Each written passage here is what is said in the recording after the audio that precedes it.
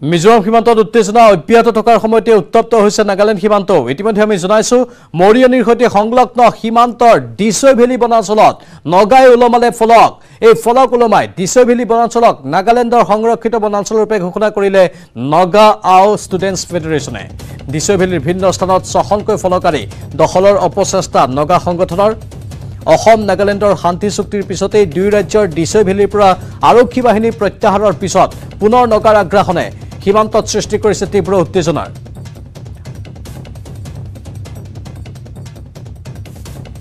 ইতিমধ্যে আমি পোনপটীয়া সম্প্ৰচাৰত কিছু তথ্য আপোনালোকৰ বাবে আগবঢ়াম বুলি প্ৰতিশ্ৰুতি দিছিলোঁ যিহেতু গ্ৰাউণ্ড জিৰ' ৰিপৰ্ট আমাৰ সাংবাদিক জ্যোতিপ্ৰসাদে আগবঢ়াইছে। স্থানীয় লোকসকল সাংঘাতিকভাৱে অসন্তুষ্ট আৰু ভীতিগ্ৰস্ত হৈ আছে। প্ৰতিটো সময়ত তেওঁলোকে আতংকত কটাবলগীয়া হৈছে। অধিক জনাব জ্যোতিপ্ৰসাদ গগৈয়ে এই মুহূৰ্তত আকৌ পোনপটীয়া সম্প্ৰচাৰত আছে। জ্যোতিপ্ৰসাদ কি সবিশেষ তথ্য আছে? ইতিমধ্যে বহু লোকৰ ভাষ্যও আমি শুনিলোঁ। আপুনি স্থানীয় লোকৰ পৰা ভাষ্যসমূহ সংগ্ৰহ কৰি গ্ৰাউণ্ড জিৰ' ৰিপৰ্ট আগবঢ়ালে। এই মুহূৰ্তলৈকে পৰিস্থিতি কিমান উত্তেজনাময় হৈ আছে তাত?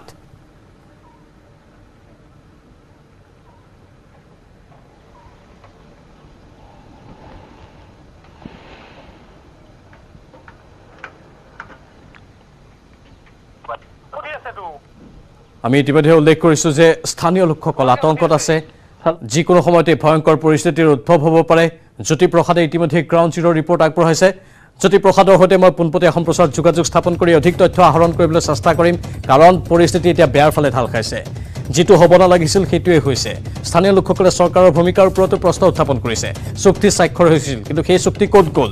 নগাই সেই চুক্তি মানি লোৱা নাই। নগাই আগ্ৰাসন চলাই আছে। নগাই সীমান্তৰ এই অসমৰ অঞ্চলসমূহ নিজৰ দখলত নিবলৈ চেষ্টা কৰি আছে। এটা ষ্টুডেণ্টছ সংগঠন আছে বা ছাত্ৰ সংগঠন আছে নগা আও আৰু এই ছাত্ৰ সংগঠনটোৱে এনেধৰণে তাত নিজৰ ভেটি মজবুত কৰিবলৈ চেষ্টা কৰিছে ফলক আঁৰি দিছে আৰু নিজৰ ফলক আঁৰি দি তেওঁলোকে বুজাব বিচাৰিছে যে এই মাটি তেওঁলোকৰহে অৰ্থাৎ নাগালেণ্ডৰহে। অসম চৰকাৰে তাত একো ভূমিকা গ্ৰহণ কৰিব পৰা নাই যাৰ ফলতে তীব্ৰ অসন্তুষ্টি ব্যক্ত কৰিছে স্থানীয় লোকসকলে।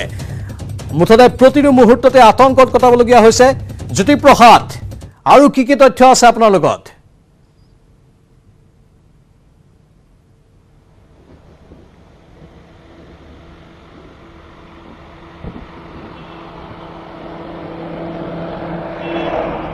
আমি যোগাযোগ স্থাপন কৰিবলৈ চেষ্টা অব্যাহত ৰাখিছোঁ সাংবাদিক জ্যোতিপ্ৰসাদ গগৈৰ সৈতে।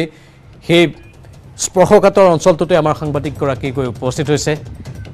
কিন্তু আমি সেই ফলকসমূহ আপোনালোকক পুনৰ দেখুৱাইছোঁ। আও ষ্টুডেণ্টছ কনফাৰেন্স।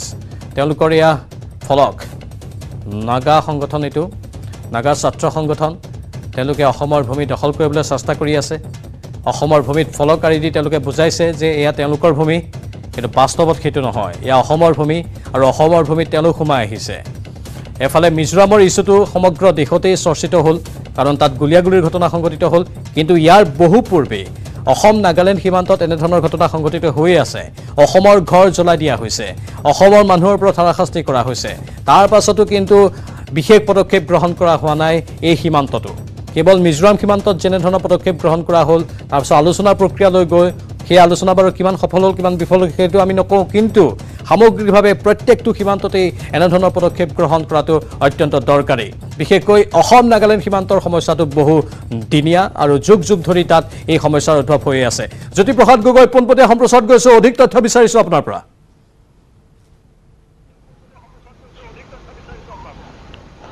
হয় প্ৰাঞ্জল আহ, ক'ব লাগিব যে যি আচলতে ইয়াত যি ডিমাপুৰত যি অসম আৰু নাগালেণ্ডৰ মাজত নাগালেণ্ড অসমৰ মাজত যি শান্তি চুক্তি হৈছিল সেই শান্তি চুক্তি আচলতে সম্পূৰ্ণ ব্যৰ্থ হোৱা বুলি আমি এই মুহূৰ্তত ক'ব পাৰোঁ। যিহেতু অসম চৰকাৰ সেই বুজাবুজি চুক্তি অনুসৰি অসম নাগালেণ্ড সীমান্তৰ পৰা যি দিছৈভেলী সংৰক্ষিত বনাঞ্চল আছে য'ত য'ত এক যুঁজাত পৰিস্থিতি আচলতে দুয়োখন ৰাজ্যৰ আৰক্ষী প্ৰশাসনৰ লোক আছিল সেই আৰক্ষী লোকসকলক ইতিমধ্যে সীমান্তৰ পৰা আঁতৰাই নিয়া হৈছে একত্ৰিছ জুলাইত যি চুক্তি হৈছিল সেই চুক্তি অনুসৰি অসম নাগালেণ্ড সীমান্তৰ দিছৈভেলী সংৰক্ষিত বনাঞ্চলৰ পৰা যিসমূহ চাউনি আছিল অস্থায়ী চাউনি আছিল সেই চাউনিসমূহ উঠাই নিয়া হৈছিল আৰক্ষী লোকসকল তাৰ পৰা গৈছিল আৰু কালি যিহেতু ইয়াত এটা পৰিৱেশ দেখিবলৈ পোৱা গ'ল যে নগা যিসকল লোকসকল আমি পূৰ্বতো কৈ আহিছোঁ যে নগা লোকসকলে যি ধৰণে অসমৰ ভূমিত আচলতে বেদখল চলাই আহিছে বা আগ্ৰাসন চলাই আহিছে আহ, প্ৰতিদিনে চলাই আহিছে এই চুক্তিখন হোৱাৰ পাছত আচলতে যি অসমৰ লোক আৰক্ষী লোকসকল ইয়াৰ পৰা আঁতৰি যোৱাৰ বাৰ এটা নহওঁতে ইয়াত নগাৰ যি আগ্ৰাসনৰ ভয়াৱহ ৰূপটো আমি পুনৰবাৰ দেখিবলৈ পালোঁ কিছুদিন পূৰ্বে যিহেতু আৰক্ষী থকা অৱস্থাতে ইয়াত এটা গৰুক আচলতে নগাৰ যি দুৰ্বৃত্ত আছিলে গুলীয়াই হত্যা কৰি তেওঁলোকে লৈ গৈছিল। তাৰ পাছত তেওঁলোকে যি চৰকাৰী নগাৰ চৰকাৰী এনৰেগা আঁচনি তাত ৰূপায়ণ কৰি তেওঁলোকে ফলক আৰিছিল। ইয়াৰ পাছত পুনৰ দেখিবলৈ পোৱা গ'ল যে কালি যিহেতু নগাৰ এটা ছাত্ৰ সন্থাই তাত এখন তাত বেনাৰ আহিছিল ছখনকৈ বেনাৰ দিছে বুলি সংৰক্ষিত বনাঞ্চলৰ বিভিন্ন প্ৰান্তত অনা দেখিবলৈ পোৱা গৈছিল। আৰু এই সম্পূৰ্ণ যি তেওঁলোকৰ আগ্ৰহী মনোভাৱ আৰু আমি ভিতৰুৱা সূত্ৰই জানিবলৈ পোৱা মতে সেই অঞ্চলসমূহত দিছবিলি যিসমূহ অঞ্চল আছে সেই অঞ্চলসমূহত অস্ত্ৰধাৰী নগালোক তা- তাৰ যি আটাইতকৈ যি উগ্ৰপন্থী আছে সেই উগ্ৰপন্থীসকলে মুকলি বিচৰণ কৰা দেখিবলৈ পোৱা গৈছে। আৰক্ষীৰ লোকসকল বিশেষ থকা অৱস্থাত যেতিয়া অসমৰ ভূমিত নগাৰ আগ্ৰাসন বন্ধ নহ'ল এনে অৱস্থাত অসমৰ আৰক্ষী লোকসকলে যি দিছবিলি সংৰক্ষিত বনাঞ্চলৰ পৰা আঁতৰাৰ লগে লগেই যি নগাৰ আগ্ৰাসনৰ ভয়ংকৰ ৰূপটো পুনৰবাৰ স্পষ্ট ৰূপত দেখিবলৈ পোৱা গৈছে। আৰু সীমান্তবাসী ৰাইজ ইতিমধ্যে এই এই বিষয়ক লৈ আচলতে শংকিত হৈ পৰা দেখিবলৈ পোৱা গৈছে। কাৰণ যিহেতু পূৰ্বতেও আমি দেখিছোঁ যে অসম নগালেণ্ড সীমান্তত যি ধৰণে নগা দুৰ্বৃত্তসকলে সন্ত্ৰাস চলাই বিভিন্ন গুলীচালনা কৰে পশুধন হত্যা কৰে ভাবুকি দিয়ে এনেধৰণৰ ঘটনা সংঘটিত হৈ আহিছে। আৰু যিহেতু সাতাইছ মে' দিনাখনি ইয়াৰ বিধায়ক ৰূপজ্যোতি কুৰ্মীয়ে যিহেতু পৰিভ্ৰমণ কৰিবলৈ গৈছিল যি আহ, নগা বিদেশ চাবলৈ গৈছিল আৰু সেই সময়ত নগাৰ বিদ্ৰোহী লোকসকলে বা যিসকল তাত আছিলে দুৰ্বৃত্ত তেওঁলোকে গুলীচালনা কৰিছিল। ইয়াৰ পাছতে অসম আৰক্ষী লোকসকলে তাত অৱস্থান গ্ৰহণ কৰিছিল। ইয়াৰ পাছত এক যুঁজান স্থিতি তাত সৃষ্টি হৈছিল ইয়াৰ পাছত অসম আৰক্ষী যিসকল লোক আছিল বা নগাৰ যিসকল আৰক্ষী লোক আছিল এতিয়া এতিয়া যিখন এই ডিমাপুৰ য- চুক্তি হ'ল সেই চুক্তিৰ পিছত সম্পূৰ্ণ অসমৰ আৰক্ষী লোকসকল আঁতৰি আহিছে কিন্তু তাৰ পৰা নগা লোকসকল কিন্তু আঁতৰি অহা নাই। নগাৰ যি বেদখল উচ্ছেদ হোৱা নাই বা সেইটোৱে যিসকল আৰক্ষী লোক আছে। তেওঁলোকৰ যি জ্যোতিপ্ৰসাদ সেইটোৱে হ'ল সবাতোকৈ ডাঙৰ বিন্দু অসমে সদায় নিয়মসমূহ মানি চলে কিন্তু। চুবুৰীয়া ৰাজ্যসমূহে নিয়মসমূহ মানি নচলে চুক্তি হ'ল চুক্তি অনুসৰি অসম আৰক্ষী তাৰ পৰা আঁতৰি আহিল কিন্তু নাগালেণ্ডে দপদপনি অব্যাহত ৰাখিলে এইটো কেনেধৰণৰ যুক্তি হ'ব পাৰে? অসমে সকলো সময়তে নিয়ম মানি চলে অসমেই প্ৰত্যেকখন ৰাজ্যলৈ নিজে গৈ সদ্ভাৱ বাৰ্তা এটা লৈ যায় কিন্তু তাৰ বিপৰীতে চুবুৰীয়া ৰাজ্যসমূহে কেৱল আগ্ৰাসন চলাই থাকে ভয়ংকৰ পৰিস্থিতিৰ উদ্ভৱ কৰিবলৈ চেষ্টা কৰি থাকে।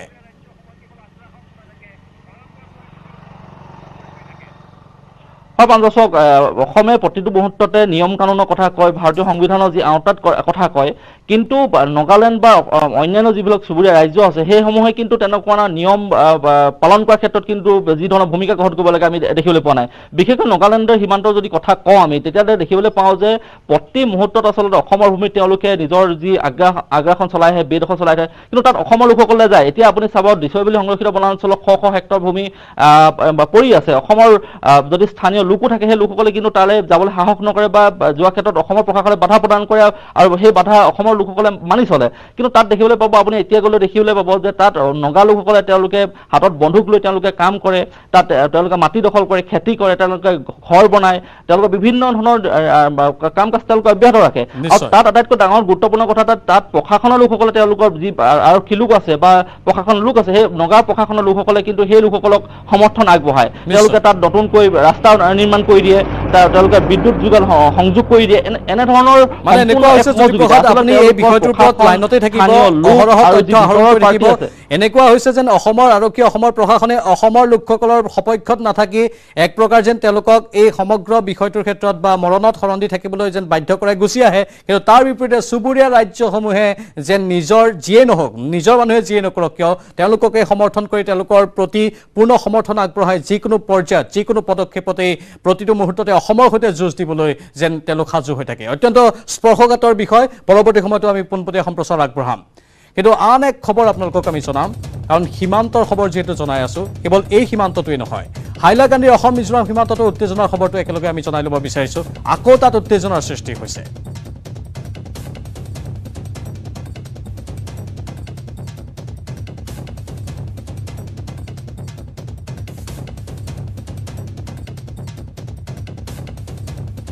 এই খবৰটোৰ লগতে একেলগে আমি জনাই থৈছো যে হাইলাকান্দিৰ অসম মিজোৰাম সীমান্ততো পুনৰ উত্তেজনা অসম আৰক্ষী আৰু স্থানীয় লোকৰ মাজত সংঘাত। সীমান্তৱৰ্তী ধলচেৰাত সংঘটিত হয় এই ঘটনা।